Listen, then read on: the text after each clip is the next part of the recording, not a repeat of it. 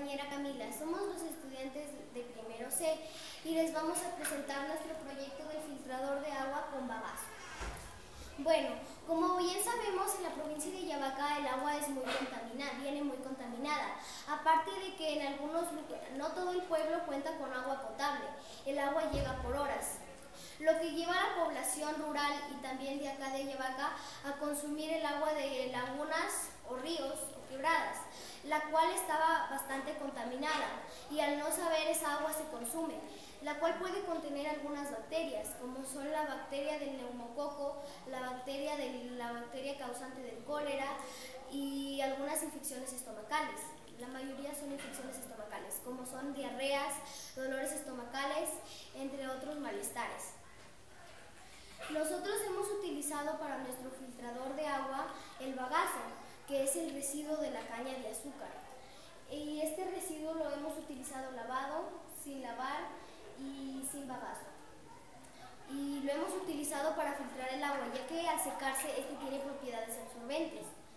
Y el, el proyecto se basa principalmente en el bagazo. El carbón también tiene propiedades absorbentes, carbón activado, para cual hemos utilizado ácido para nosotros activarlo.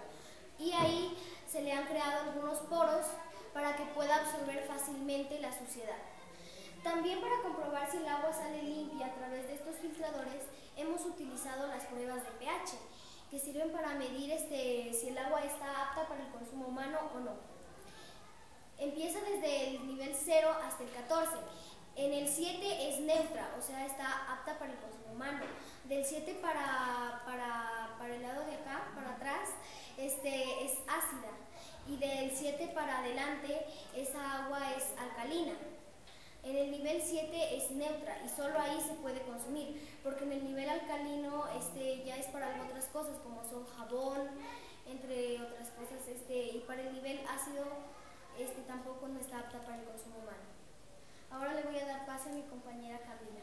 La pregunta que nos planteamos para hacer la indagación fue, ¿Cómo ayuda el bagazo a la purificación del agua? Y la, hipótesis que planteamos fue, mientras más bagazo, mayor será la filtración del, agua.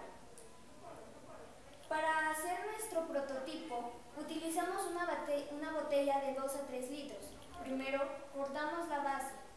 Luego, pesamos las cantidades de cada material y tratamos de que haya una cantidad exacta para, para todos los materiales para todos los prototipos. Luego colocamos el algodón en la punta tratando de que quede apretado para que no quede ningún espacio para que se pueda filtrar algún, algún material contaminante. Luego pusimos otra capa de bagazo encima. Encima le pusimos arena fina y arena gruesa. Luego le pusimos unas piedritas chiquitas y unas piedritas grandes. Y finalmente le pusimos el carbón activado. Luego medimos la cantidad de potencial de hidrógeno para poder ver si es que era apta para el consumo. Y no, porque era agua contaminada. Salía alcalina número 6. Luego colocamos el agua encima del prototipo para, para esperar a que se filtre y ya filtrada volvíamos a tomar las pruebas de pH.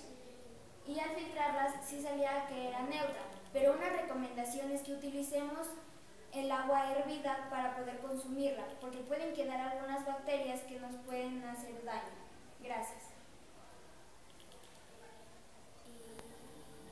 Y nosotros hemos llegado a la conclusión de que nuestro proyecto del filtrador de agua sí sirve para filtrar el agua y sería muy útil en las casas de, de algunas familias, las cuales consumen agua contaminada.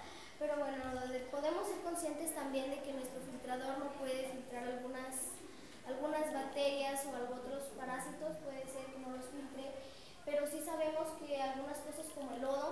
sí la puede filtrar y sí sería muy útil.